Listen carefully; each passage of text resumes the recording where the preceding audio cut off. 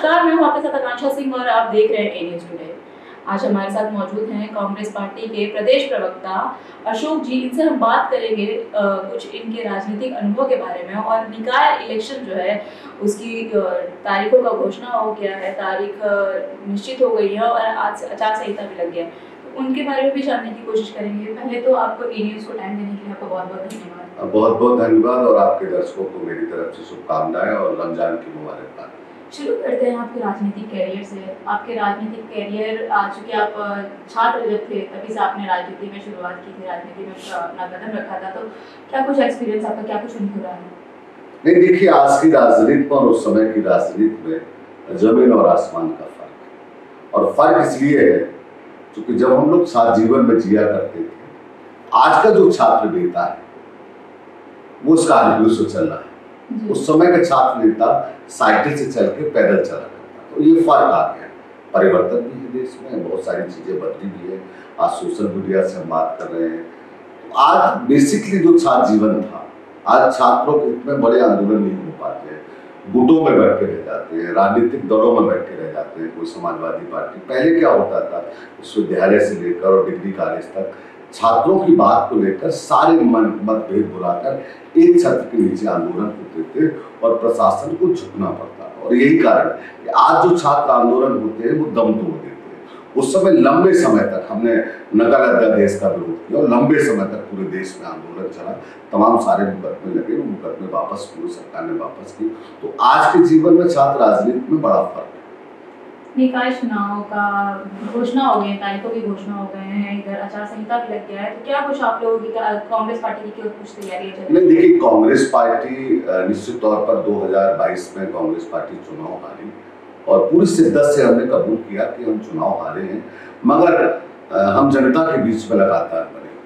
With in छह महीने से कांग्रेस पार्टी लगातार जनहित मुद्दों को लेकर जनता के बीच में काम कर रही है जनहित के मुद्दों को लेकर आंदोलन कर रही है पूरे देश में राहुल गांधी को जो मोहब्बत जो प्यार और जो इसलिए मिली है तो मैं इतना ही कह सकता हूँ कि परिवर्तन ही संकल्प है और कांग्रेस ही बावजूद इसके राहुल गांधी की सदस्यता जो है खत्म कर दी। देखिए वो न्यायालय की प्रक्रिया है।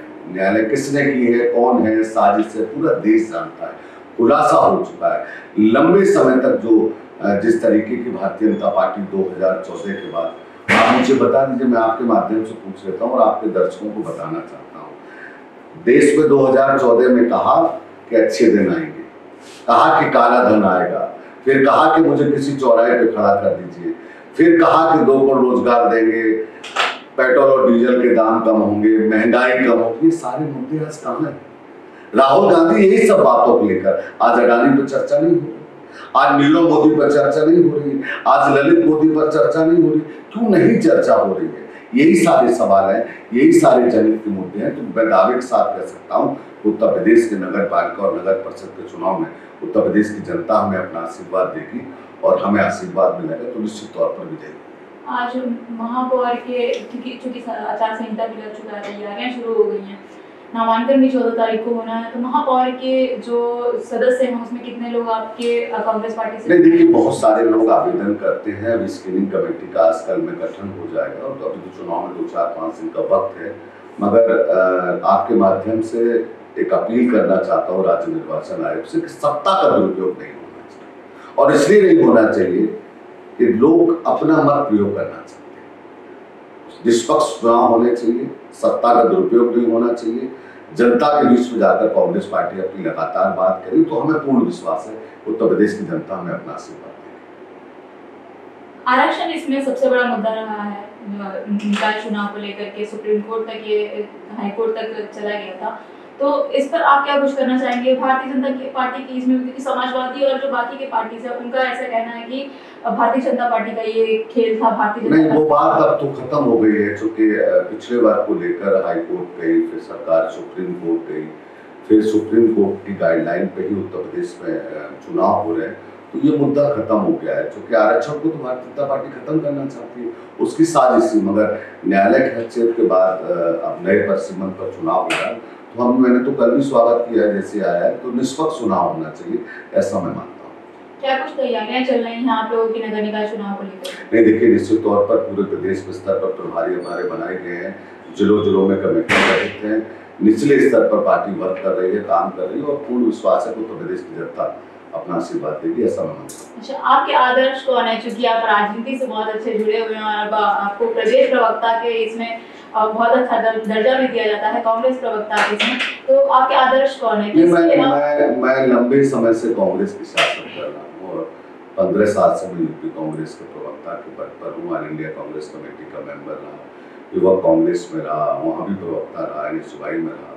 तो मैंने जैसे पहले वक्तव्य में कहा कि आज की राजनीति और उस समय छात्र जीवन की राजनीति में बड़ा ज़मीन और आसमान का फ़र्क है। और मेरे आदर्श राजीव गांधी मैं राजीव गांधी से बहुत एम्पायर था। राजीव गांधी जी से, राजीव गांधी, मुझे लगता है कि जब देश में कंप्यूटर क्रांति हो रही थी तो पूरे देश में भारतीय जनता पार्टी ने पार्लियामेंट को बंद कर दिया था।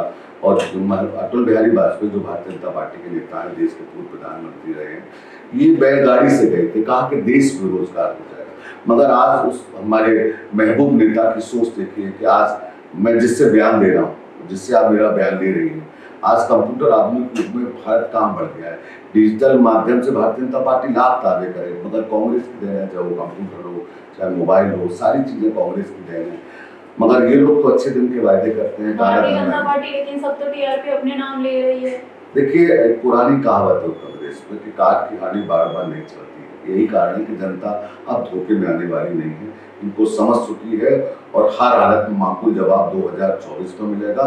अभी नगर निगम चुनाव में मिलेगा ऐसा मैं मानता प्रियंका गांधी जो है पिछली बार विधानसभा चुनाव था लड़की लड़ सकती हूँ का नारा लेकर के उतरी थी। उसका क्या कुछ रिस्पांस मिला था आपको विधानसभा में और क्या कुछ रिस्पांस मिल रहा है आपको इसमें? देखिए चुनाव जीतना हारना ये अलग पहलू।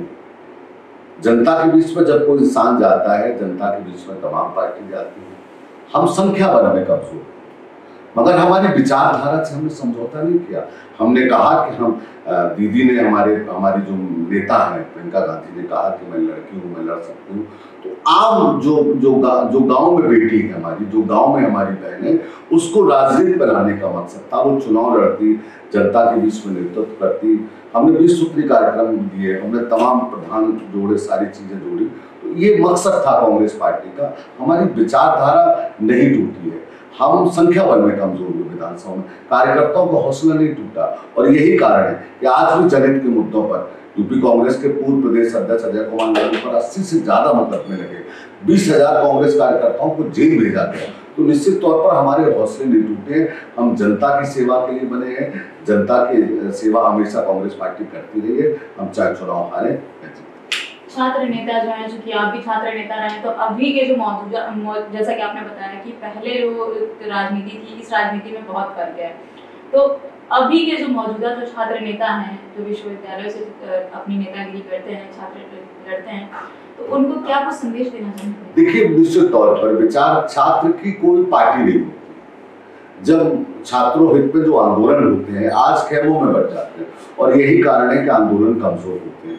छात्र हित में कोई भी आंदोलन हो, चाहे वो किसी भी पार्टी के दल का नेता हो, चाहे वो समाजवादी पार्टी का हो, बहुजन समाज पार्टी का हो, भाजपा का हो, छात्र हित में एक साथ आंदोलन करेंगे तो आवाज़ बनेगी।